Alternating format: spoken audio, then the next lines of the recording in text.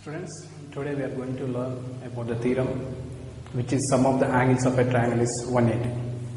Before going to learn the theorem, first we should know about some basic concepts which you are going to see now. In that first one is plane. A plane is flat surface extending infinitely in all the directions.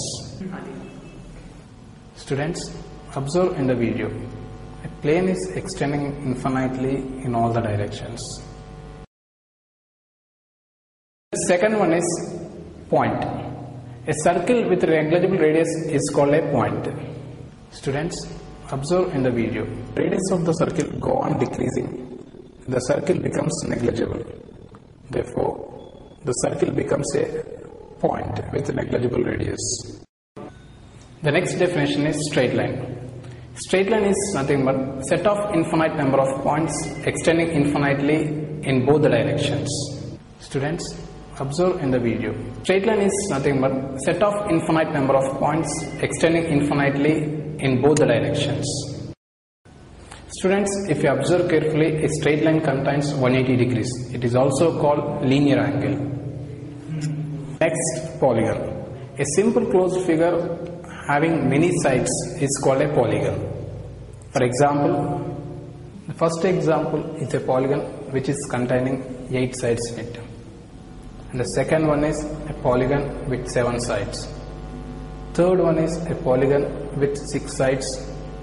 Fourth one is a polygon with 5 sides. And fifth one is a polygon with 4 sides. And the last one is a polygon with 3 sides. Next, triangle. A triangle is a polygon with three sides in it. Let us do one activity. Take a triangle ABC and cut all the three vertices of a triangle as shown in the figure and arrange them as shown in the figure.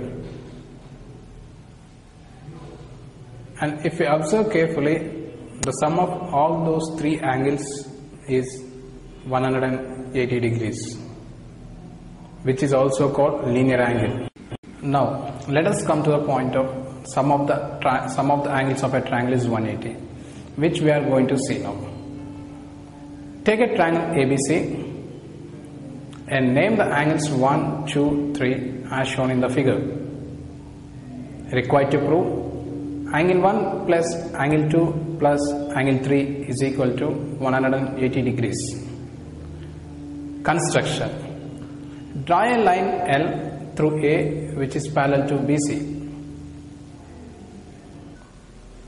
Proof L is parallel to BC and AB is the transversal. Therefore, angle 2 is equal to angle 4 as they are alternate angles. Take that is as equation number 1.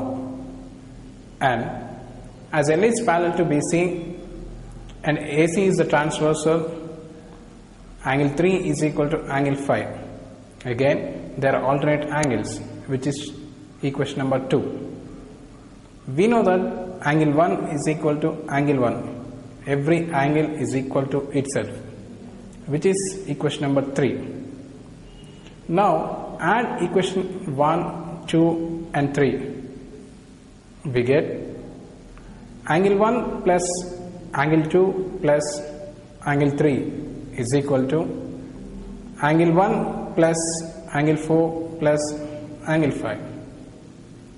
But we know that angle 1 plus angle 4 plus angle 5 is equal to 180 degrees as they are linear angles. Therefore, angle 1 plus angle 2 plus angle 3 is equal to 180 degrees. Hence, the sum of the angles of a triangle is 180 degrees is proved.